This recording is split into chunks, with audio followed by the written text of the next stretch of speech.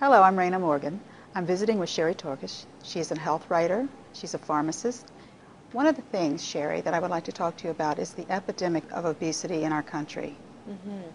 Yeah, it's a very serious uh, concern, obesity. We now know that over two thirds of North Americans are considered to be overweight or obese.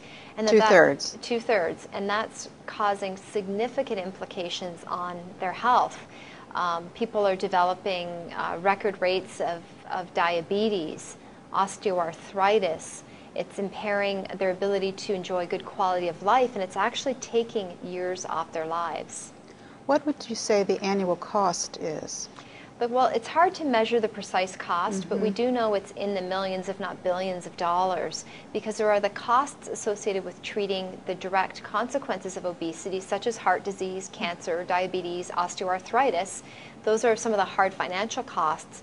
But then there are also socioeconomic costs. Uh, mm-hmm. Uh, having obesity uh, causes lost work days because of the conditions that result from being obese. Um, it, it also um, affects people's quality of lives and ability to really enjoy a good quality of life. And so some of the um, diseases that you say are attributable to obesity mm-hmm. would be heart disease, diabetes, osteoarthritis. That's right. Those are some of the big ones heart disease, diabetes, also certain cancers. We know that being overweight or obese increases the risk of breast, prostate cancer as well.